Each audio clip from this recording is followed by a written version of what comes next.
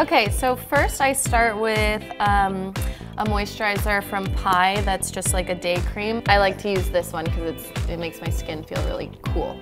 The oil cleanser and the oil um, moisturizer really helps to lock the moisture in and gives my skin like a really nice texture. I'm a big fan of W3ll People, which is yes, um, we love them. brand that I found at CAP Beauty. And W3ll People's really great. All of their products are I can trust and they don't have any chemicals on so in them. So I use this for cover up.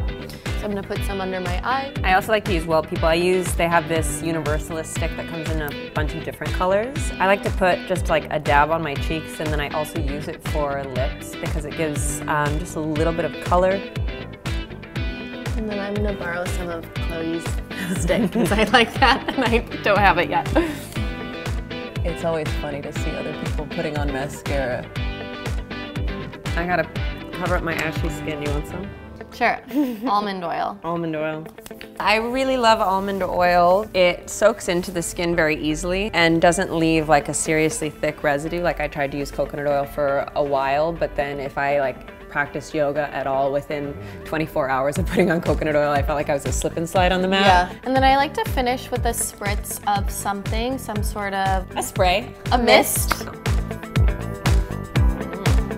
That's really nice. It's a good one. Yeah. Isle of Roses is so good. It's a hair oil and it smells like roses and my hair tends to be really, really dry. That's kind of it. That's our routine.